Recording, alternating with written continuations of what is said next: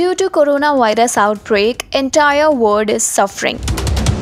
India में भी आप देख रहे हैं कि 21 डेज़ का लॉकडाउन किया गया है। लेकिन उसके बावजूद भी कुछ लोग ऐसे हैं जो इस लॉकडाउन रूल को अच्छी तरह फॉलो नहीं कर रहे। वेल well, इंडिया में तो ये हाल है ही।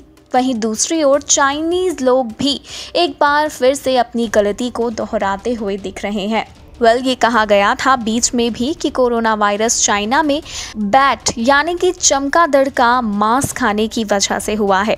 लेकिन अब एक बार फिर से चाइना में इन एनिमल्स को का खरीदना और बेचना हो गया है शुरू।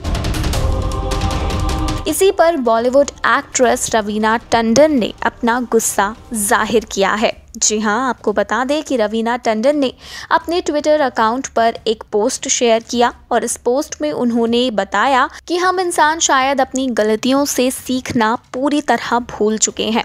इस पोस्ट में रवीना टंडन लिखती हैं humans won't learn their lesson however hard the sacrifice and price to pay wars gone back to their barbaric practice hashtag China world worst country for animal abuse and wildlife crime यहाँ पर रवीना टंडन ने major Gaurav Arya का एक post share किया है, जिसमें उन्होंने लिखा हुआ है, China continues to operate markets that sell bats cats frogs dogs and also exotic wildlife for consumption Only difference is that now there is a policeman who stops you from taking pictures, hashtag Chinese virus.